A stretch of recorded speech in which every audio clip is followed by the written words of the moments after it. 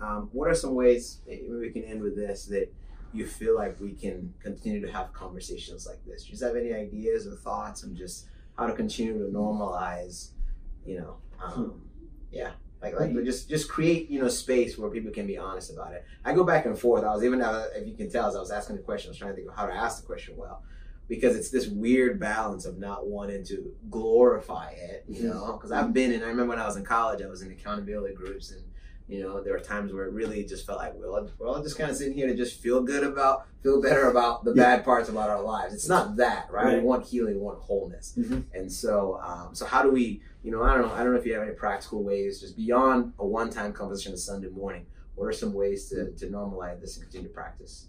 Well, as I understand it, you began with John five last week, right? Uh, yeah, we talked about it a little bit. Yep. Yes. The yep. question: Do you want do you want to be well? healed? Yep. Um, yeah. there's a lot of people who don't we we yeah. actually love being ill.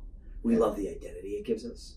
We love um, the attention it might yeah. get us. There's a lot of ways, right? And so now, so it can be difficult because uh, when I'm with someone who I know doesn't want to be well, I don't want to quit on them, but I also don't want to keep pouring in more of what's actually giving them death. And so we do want to ask the question: How are you seeking wellness? Not not are you achieving it not are you like i'll keep going along if yeah. you've made enough progress this week. Yeah. but actually how are you seeking wellness and how can i be a part of you seeking wellness? Yeah.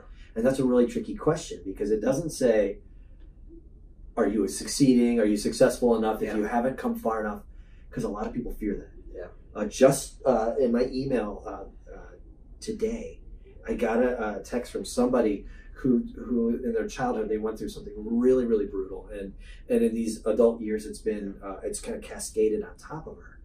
And she was doing a lot better. And then she had just sort of a relapse of all the worst emotions. And she was afraid yeah. that i would be like oh i thought you were doing good and now you're back here. Yeah. And and and she was afraid that i wouldn't love her in that spot. Of course i'm going to love her in that spot. We love you wherever you are but like the Lord, we're always looking for how are we moving? Yeah. How are we seeking toward wellness?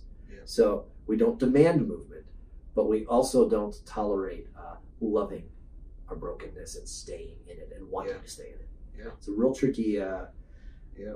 I don't know, like in between. I guess, yeah. It's a good word, man. Have anything else you want to?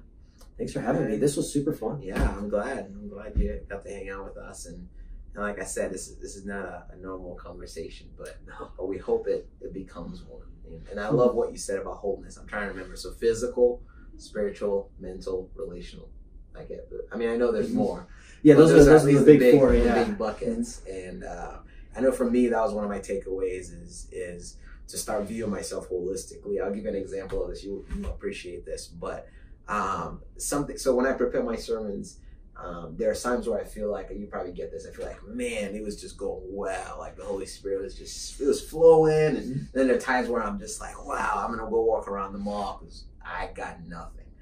And uh, last week was one of those times where it was great, mm-hmm. and I was like, man, this was so great. Like I just felt like God was just like flowing, and then I realized uh, I was like, oh, I got really good sleep last night. like I, I realized the last times I felt creative, inspired, whatever you want to use, were actually the times where I got good sleep. Mm-hmm. And I just was like, that's interesting because I spent so much time over spiritualizing it. Like, oh man, why isn't God speaking? But really, I got four hours of sleep last night and my mind just isn't sharp. And so, uh, but yeah, so just kind of thinking about all the layers and, and, how it all affects one another. It's a lot easier, honestly, for me to just think, you know, when I open my computer, God's either going to speak or he's not going to speak. Um, but. I feel like God's been saying, Sammy, could it be that, you know, yeah, that's not that simple. You know, that I want you to get sleep, I want you to eat well, and I want your mind to be in a place where, you know, you actually feel inspired. That's different. Yeah. So this is fun. Does that make sense? Uh, yeah, I could. Okay. I could actually say like. I'm looking for you for affirmation. Like, yeah, well, is that for, good? Is that true? Am I just making that up? So uh, there's a uh, a guy who is sort of like one of the people taught by Dallas Willard, and Dallas used to complain that there wasn't a good curriculum for yeah. like really like learning to like become an apprentice of Jesus. And yeah. so he challenged this guy. His name is James Bryan Smith, and James yeah. Bryan Smith wrote a three part series called uh, Good and Beautiful God, The Good and Beautiful Life, and The Good and Beautiful Community. And Yeah. it's designed to be walked through as groups. And there's like, I don't know, 10 chapters in each one Yeah. where you read like 10 pages Yeah. about something. And then each chapter, because it's designed to be done in a week, has a spiritual discipline to practice. So I'm thinking it's going to start with fasting or it's going to start with something like that. First spiritual discipline that he wanted you to practice sleep. Yeah. Like, get eight hours of sleep. Stop Yeah. acting like all the world's on you and that you can't let Yeah. it go. Yeah. And trust that your Father has it and that He gives His beloved sleep. Yeah. So, first spiritual discipline. Sleep. Sleep. I heard someone say once. I think it was a Christmas conference. Sometimes the most spiritual thing you can do is sleep. Mm. That's a that's a good word. So, anyways, Christmas. thanks again, Steve, for hanging out with us. Appreciate you guys. Thanks. See ya later.